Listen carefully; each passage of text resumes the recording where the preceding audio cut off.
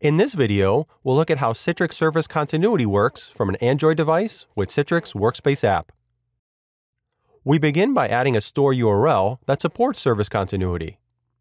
As of present, Service Continuity on Android is in public tech preview and needs to be explicitly enabled for your cloud site. Service Continuity is designed to mask outages and keep your users productive.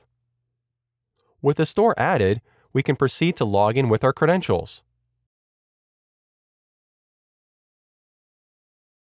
Once logged in, it typically takes around 5 to 10 minutes before the lease files are generated and downloaded to the device. We can check the status of lease files downloading by going to Settings, Service Continuity, and choosing Service Continuity Details. Here we see that the lease count on both the server and device match at 24. This means that all the lease files have successfully downloaded. If they do not match, you can go back to the store list screen and reload the store again. That should trigger a connection to re-download the lease files. With the lease files downloaded, we're ready to test service continuity on our Android device. We'll check the work offline setting. This setting is only present to test during the tech preview to simulate a mock outage. From here, we go back to the store list page and load the store again. Now that we've transitioned to offline mode, you'll notice the informational banner at the top.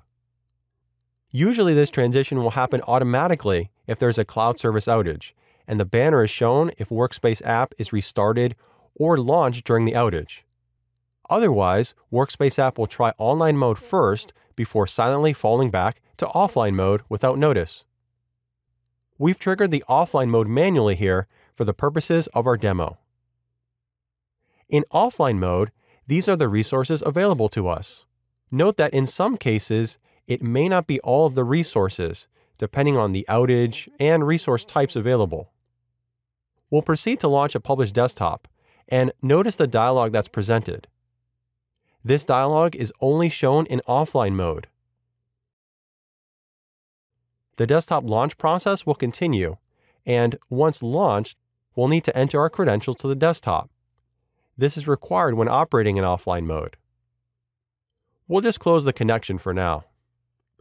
To switch back to online mode, we again go to Settings and Service Continuity. Then uncheck the Work Offline setting. This disables the mock outage. Next, when we go back to the store, we choose Reconnect to Workspace in the top banner. And that transitions us back to online mode. Try service continuity today in your Citrix Virtual Apps and Desktop Service environment. For more information, refer to docs.citrix.com.